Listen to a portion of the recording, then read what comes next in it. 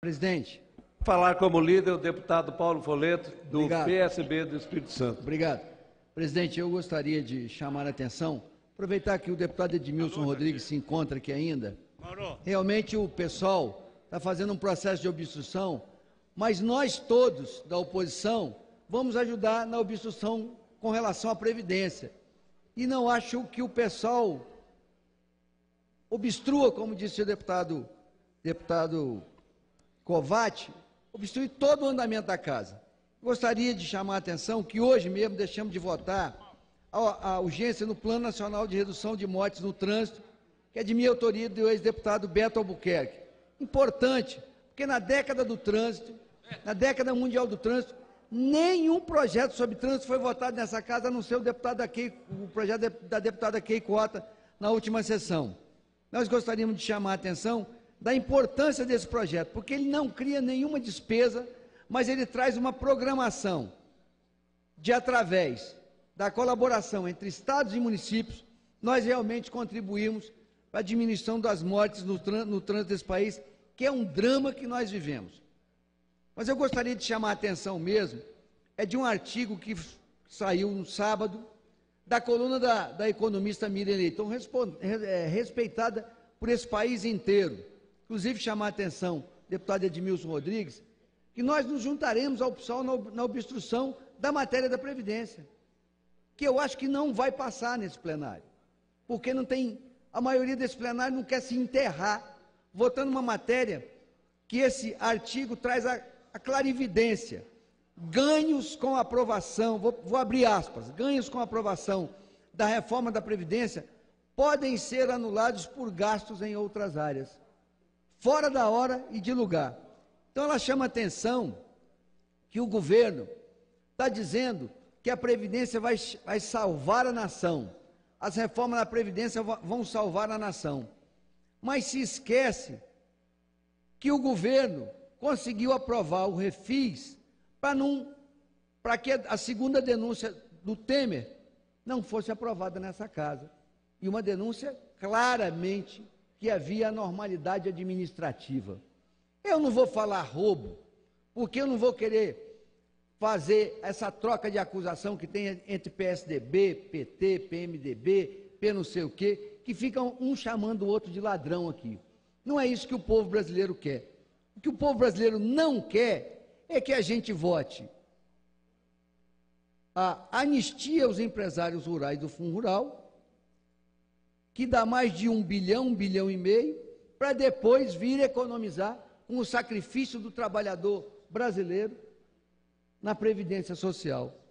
O que o povo brasileiro não quer é que a gente venha aqui e aprove projetos como estão para entrar na pauta, deputado Edmilson, como da Rota 2030, que é o programa para substituir o Inovar Alto da Dilma, da Dilma, que já foi é, condenado pelo, pelo, pela Organização Mundial do Comércio, que traz favores à produção de carros brasileiros, impedindo até a importação de outros automóveis, que dá um ponto, mais 1,5 bi, esticando até 2030, já que ele ia acabar em 2019, ia acabar daqui a um ano e meio, dois anos.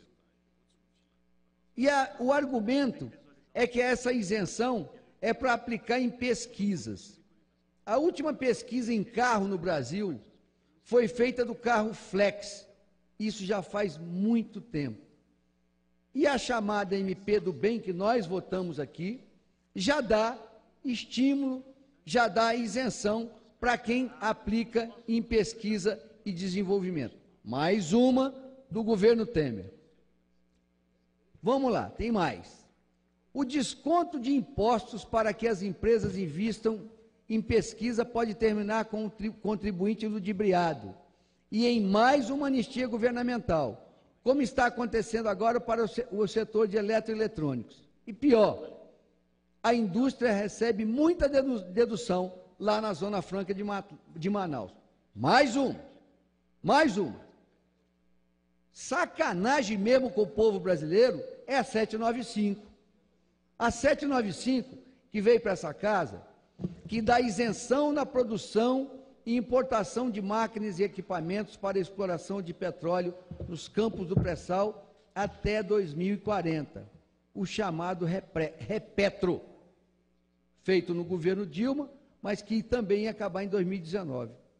E agora está esticando por mais 20 anos. Aqui mesmo já foi apresentada uma conta que pode chegar a um trilhão a isenção. Eu não acredito que chegue nisso.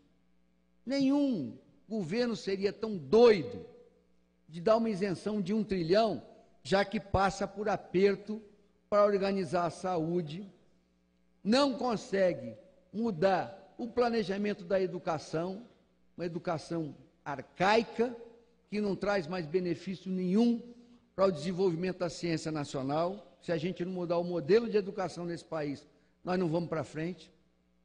Não consegue botar um centavo em infraestrutura e não daria um trilhão de isenção. Mas não vai ser um trilhão, mas vai ser um bocado de bilhão.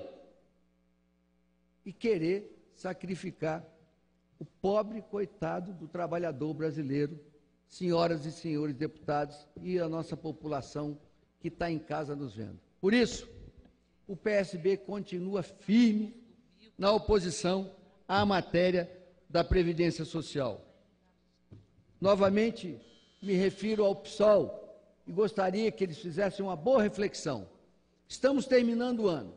Temos boas matérias para votar nessa casa, como hoje iremos votar alguns, algumas urgências para bons projetos para serem votados na educação, na saúde, no desenvolvimento da, da ciência e tecnologia.